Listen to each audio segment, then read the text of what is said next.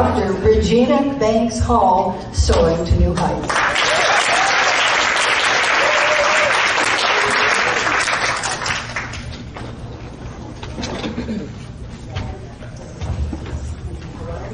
inviting me to come back to speak to everyone this year. One of the things that I applaud Linda for is her vision of helping others become authors, improve their leadership and professional speaking, and it requires a vision to actually do that. So I applaud her for what she has created.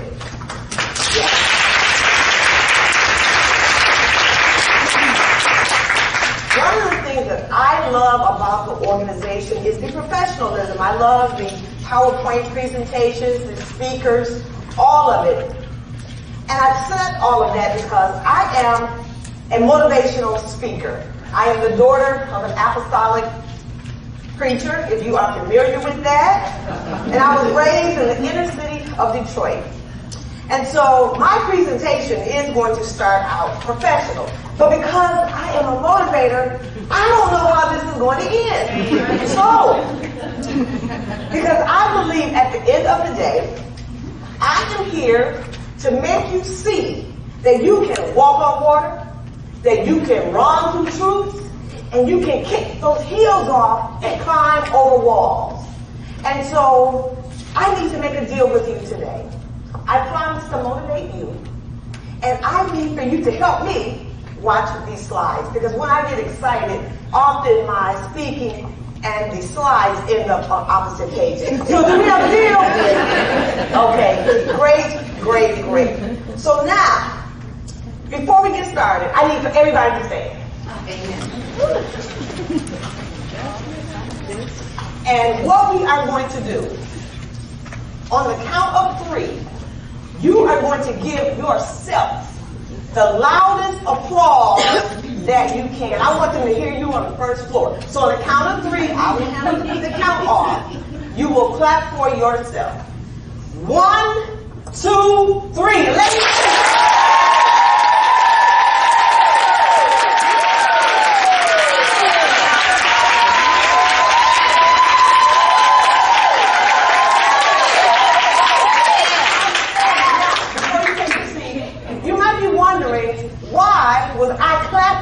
for myself. And let me tell you, the reason why you were clapping for yourself, you might have used your last resources to pay for your book project, to pay for your registration. You might have drove in here on your last tank of gas. And you did all of that because you were investing in yourself. And as professionals, we have to be reminded from time to time that it is okay to invest in ourselves. When we give, we have to give back to ourselves. And so I wanted to remind you that you're special, that you're gifted, and that your investment this weekend is not in vain. So as you get ready to take your seat, I want you to look at your neighbor, and I want you to say, neighbor, neighbor. you are in the right place.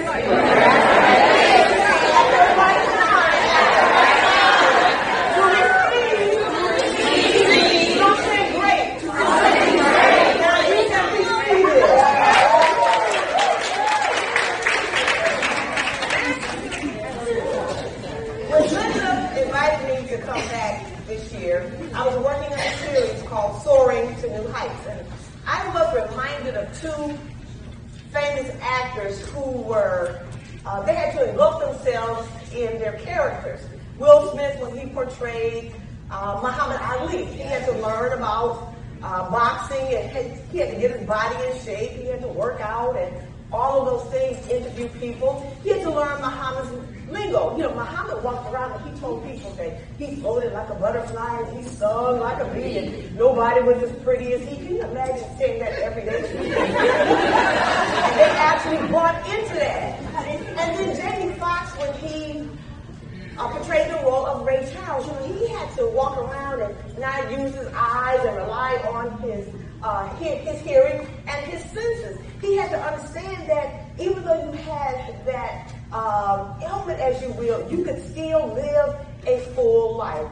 And so when I was working on my series of Soaring to New Heights, I was trying to understand the airline industry. And, and I need to talk to, I should have talked to Suzanne, I would have learned uh, so much about that. And I was trying to understand uh, pilots and what it was necessary to work in the air traffic controller uh, department because I was trying to understand how you take something that's on the ground and you get it in the air. And then I wanted to translate that to us. How can I look at myself and recognize that I'm walking on the ground, I have a vision, but I'm trying to soar. I'm trying to go upward. I'm trying to move. And so sometimes my husband would come home. Uh, if I wasn't at the university teaching, I would be in my office in the basement, and I was engaged in flight check operations as you will. And so I'd be sitting there and I would be like, this is Dr. Regina Banks Hall. All passengers are go. We were just waiting for clearance from the air traffic controllers.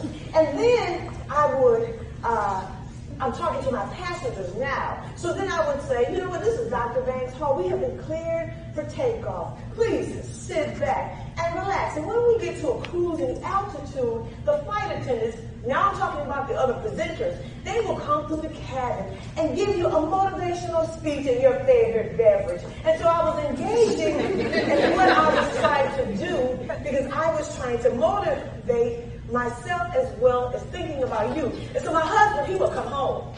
Now, he's been at work all day and I've been at home. And so he would come in and I'm downstairs in the basement, and he's like, uh, what are you doing? I'm doing any lights. Um, and he was like, he said, that's great, I really appreciate it. And I just noticed there's nothing to eat upstairs. so I need you to soar upstairs. And so I shared that to let you know that I was passionate about what I was doing. I do have a supportive husband. He is back there in the back. And while I was looking at the air at the airline industry, trying to understand what we needed, I recognized that there are four things that we need for our flight. And I want to actually share them with you all today. So you guys are ready? I just want to you guys. You guys ready? I worked hard on trying to get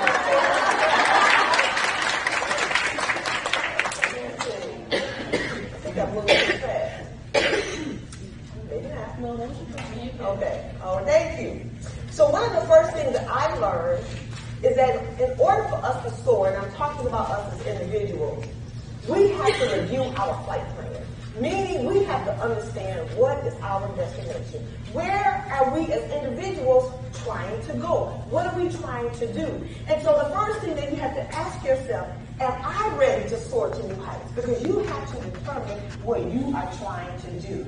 And if, and if you are, then you're looking at why am I not moving forward? And so what I found by talking to individuals is that we are sometimes afraid. We are afraid that we might fail. We are afraid of the unknown. If you are a pilot and it is your first time flying, you are probably wondering what you need to do to get from Chicago to Texas, the route that you actually have to take. And so for us, we have to look at that. We have to determine what is our destination. Where do I want to be? What am I trying to do? Who am I trying to help? Because when we can answer those questions, now we can begin to move forward. And then one of the final things that I believe that hinders people is that they are afraid of other people's opinions. They allow that to, you know, to roll around in their head, and that keeps them from moving. So the first thing that you want to do is review your flight plan, and that's if you're taking notes, and determine where do I want to go. The second thing make sure all of this pulls up, is that we have to check our equipment. Just like a pilot, they want to make sure that the wheels are turning, that the wings of the plane is going to open, all of the other critical equipment. And for us today, the main part of our equipment is our vision. And the reason why the vision is so important, and I will come back to this slide, is because the vision is a blueprint and picture of our success and future. It is the fuel that motivates us and pushes us. So you have to look at your vision. You know, what is it that I want to do?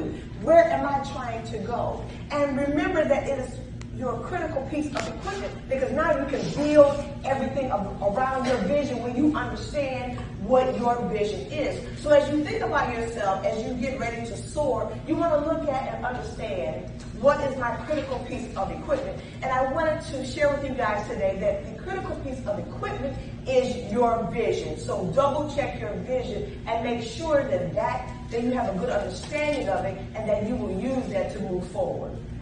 The third item that I want to talk about is that sometimes as leaders, we have to make sure that we can troubleshoot problems. Because problems will come. We will find that we are engaged in what we are trying to do and that we have to be able to navigate how we move forward. We have to understand how do I stay in charge of what is important for me as it relates to me moving forward. And so there are a couple of things that I want to share. One of the key things for troubleshooting problems, if I am a pilot, I will make sure that once I get in the air, I can handle some challenges because I have passengers on board my plane. And so I have a responsibility to make sure that I do the best that I can to get them to their destination. And so for us as individuals, we have to be able to apply that same strategy as it relates to our business. We have to make every moment count, meaning that we're not wasting our time, but we're allocating it and using it correctly to benefit what we're trying to do. We also have to I believe start with the end in mind when you take on a millionaire's attitude. Because when you start to treat your business the way that you want it to be, you will see that things are changing. You will make the right decisions. You'll meet the right people. You will engage in projects because you have that millionaire's mindset and you're starting it the way that you want it to end. And so when you start it the way that you want it to end, everything is going to work out. And then finally, stretch yourself. Sometimes we need to push ourselves. I love that Linda will call us and say, I have a project for you I need you to work on. Because she recognizes that we need to push. And sometimes we have to push ourselves. Because when we do, we find that the challenge is not so bad. Another key point is that when you are troubleshooting problems, you're troubleshooting what is required for your business, we have to take ownership. Meaning that we have to recognize that the vision is ours and not someone else. I mean, how many of you have spent time engaging in someone else's venture? I mean, you're happy, you support it, but you know, sometimes you can take it or leave it, can't you? and so it is important that when you are determining what you want to do for yourself, that the vision is yours and not someone else's. And then the final area that I want to talk about here is that it is important to understand commitment. Because commitment helps you determine that you're willing to see it through, meaning you will go all the way through the end. So let me give you an example. Can you imagine, for those of you that flew in here today, that you flew in and the pilot came over the loudspeaker and he says, there is some really bad weather ahead. Now normally when a pilot tells you that, some additional instructions are coming, right? Put on your seatbelt, you bring your chair up. What if the pilot put the plane on autopilot and he just leaped out the window with a parachute? so that meant what did I tell you? That he wasn't really committed to the vision, was he? He wasn't committed. He went to pilot school, he learned some things, but he wasn't committed to getting you to safety. And the reason why this is so important is because in order to soar, in order to do the things that you want to do, you have to look at yourself as a pilot. And the reason why you're looking at yourself as a pilot, is because you're trying to get to your destination. And you have passengers aboard your plane. And those passengers are your clients.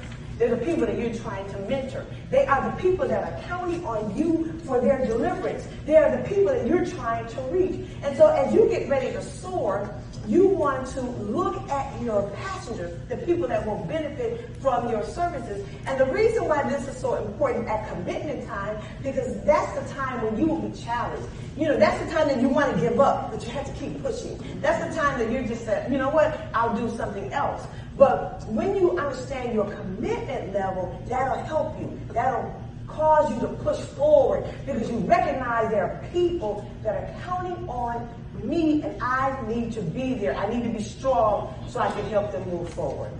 So now, the last item that we will talk about today, and this is important, is that as leaders, we have to unpack excess baggage. I love the, the airline industry. So the airline industry has said that if we allow every passenger on board the plane, if we fill up every seat, and they all bring luggage, if we do not put any regulations on them, they'll just bring everything, and that can overweight the plane. So sometimes for us as individuals, there are some things that we need to unpack that could hinder us from success. And so now what I want to do is share with you what you need to unpack. And then we'll talk about what you need to pack. And one of the things that we have to unpack is we have to unpack fear. And the reason why we have to unpack fear, because fear is false evidence appearing real. And I need you guys to understand that it is not real. How many of you, by a show of hands, have been afraid of something? Of course. And how many of you were able to overcome that fear? Okay.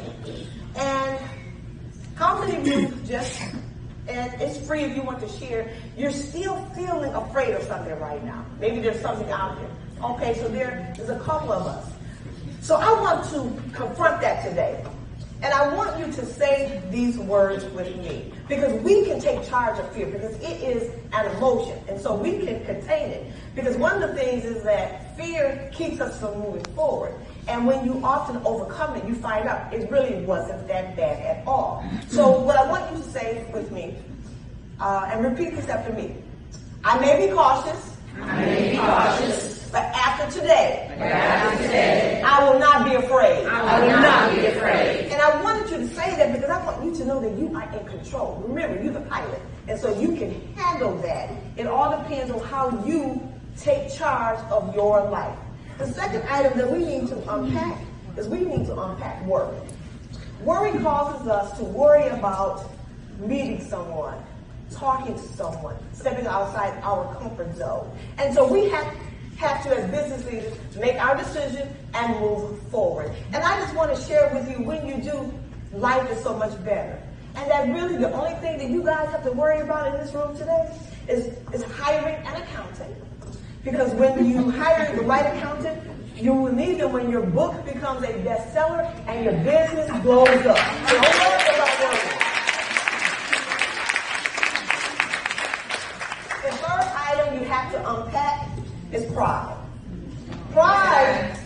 keeps us from reaching out to people that can help us and bless us. You know, we're all business women. We all have a vision.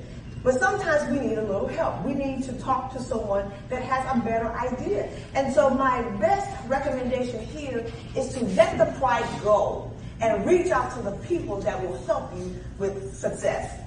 The final item that I want to talk about what we need to unpack is negativity. And the reason why we want to unpack negativity is because it is a feeling of gloom and doom as it relates to our success because we begin to change our attitude and opinion about who we are and what we're trying to do.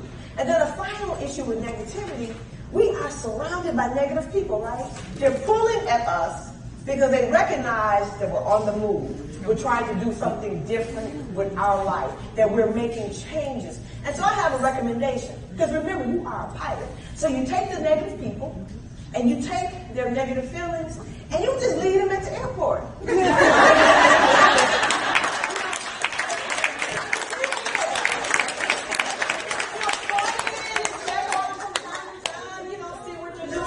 And then for those of you that drove in here and you brought negative people here, you just leave them here in Kentucky. and better yet, leave them with Linda. She'll find